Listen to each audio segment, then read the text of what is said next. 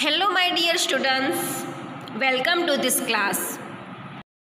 Standard one Hindi वर्णमाला से बनाए शब्द डियर स्टूडेंट्स आप क से य तक वर्ण सीख चुके हैं फिर भी एक बार सुन ले क ख ग ग च छ ज ज, ट, ठ, ड, ण।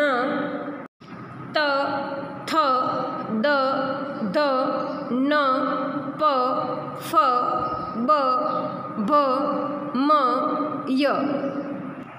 ये वर्ण का उपयोग करके हम एक शब्द बनाएँगे। तो सारे वर्ण में से पहला एक अक्षर ले लेते हैं म और दूसरा ले लेते हैं न।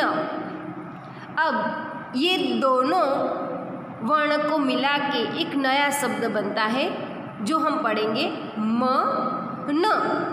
म न। जैसे हमने मन बनाया हाँ इस तरह से हम दूसरे शब्द भी बना सकते हैं। कम, खन, गन। गम, गण।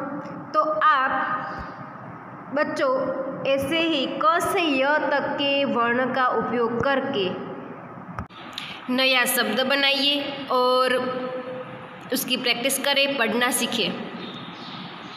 आज के लिए इतना ही काफ़ी। अब हम नेक्स्ट वीडियो में मिलेंगे।